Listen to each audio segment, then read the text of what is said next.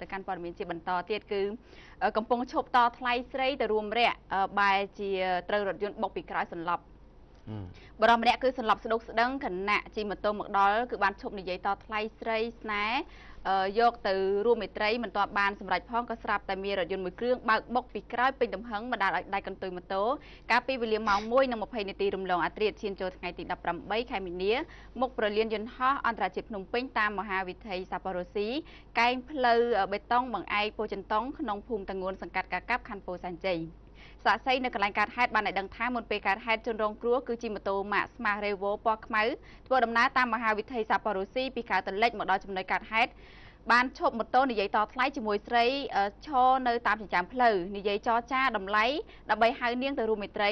ខណៈកំពុងតែនិយាយអឺមិនទាន់ត្រូវរើគ្នាផងក៏ស្រាប់តែរថយន្តមួយគ្រឿងមិនចាំម៉ាកគឺបានបើកមកពីក្រោយបានបុកម៉ូតូពេញទំហឹងបណ្ដាលឲ្យម៉ូតូខ្ទេចមួយកំណាត់ខាងក្រោយដាច់ស្លាកលេខចំណែកឯបរិសជាម្ចាស់ម៉ូតូដួលសន្លប់ស្ដុកស្ដឹងរីឯនារីដែលឈរនៅក្បែរនោះគឺរងរបួសស្រាល ក្រោយពេលកើតហេតុអ្នករងរបួសត្រូវបានដឹកយកទៅព្យាបាលនៅគ្លីនិកឯកជនចំណែកឯម៉ូតូត្រូវសមត្ថកិច្ចយកទៅរក្សាទុកនៅអធិការដ្ឋានខណ្ឌពោធិ៍សែនជ័យចា៎បាទទស្សនិកជននេះអឺមិញថានៅតាណានៅខណ្ឌពោធិ៍សែនជ័យនៅម្ដុំអឺពលានយន្តហោះអន្តរជាតិភ្នំពេញបាទចិត្តកន្លែងអតីតអូតូនិយមកន្លែងចា៎តាហ្នឹងខ្ញុំស្គាល់ហើយព្រោះខ្ញុំអឺធ្លាប់អឺធ្វើអ្នកសារព័ត៌មានយកព័ត៌មាននៅវិទ្យុហ្នឹងស្គាល់ច្បាស់អាផ្លូវកន្លែងហ្នឹងផ្លូវគេហៅផ្លូវអូតូនិយមចូលទៅអឺភូមិតងួន ចា៎បាទចូលទៅភូមិតងួនចូលទៅខាងក្នុងអឺបត់ចូលបត់យើងមកពីភ្នំពេញបត់ខាងស្ដាំហើយកន្លែងនោះមានហាង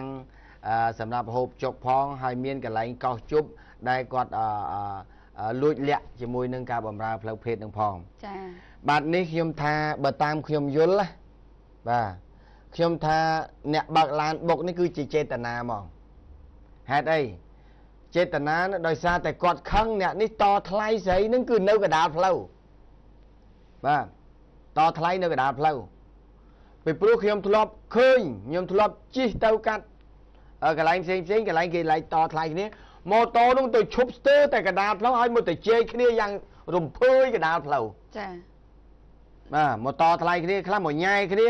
កណ្ដាលផ្លូវហ្នឹងអញ្ចឹងប្រហែលជាម្ចាស់ឡាននេះគាត់បុកហើយទៅបាត់ហើយនេះបែបគាត់ចេតនាបុកហ្មងទៅព្រោះវាមកទៅញ៉ែគ្នាកណ្ដាលផ្លូវមានអញ្ចឹង